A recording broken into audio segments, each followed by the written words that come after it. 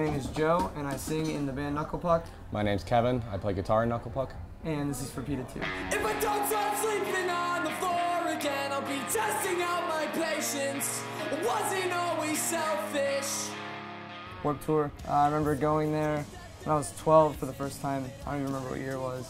But I just remember going and like wanting to collect everything from everyone. So like I'd get all these like PETA stickers and I would like stick them all over my stuff at home, you know? People hand me those compilations saying like, "What's PETA?" and like, just uh, figuring out like what it stood for, P-E-T-A.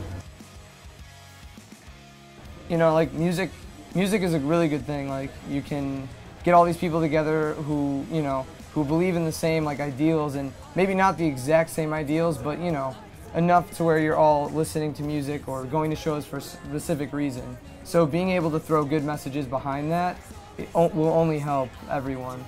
I think it's pretty cool you can go to a show with, like you said, some like-minded people. You have some things in common, some things not in common, but you can all like learn something. Whether you really take it or not, at least you're exposed to it for a quick second, and it, you know it's just in there. And it's I don't know, it's just a cool way to learn stuff, to talk to new people, and to gain a new experience by just knowing something different, and to make yourself more aware about what's going on in the world around you.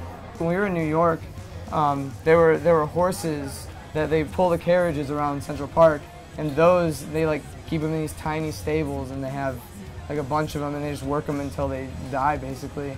And that was that was pretty upsetting to like learn that. Paying attention to it is uh, it's like half the battle. You know, you you definitely have to speak up and speak out, and you know if you see something that you know whether whether it be animal cruelty or not, like you see something that shouldn't be, speak up about it. More information on animal rights. You can visit PETA2.com.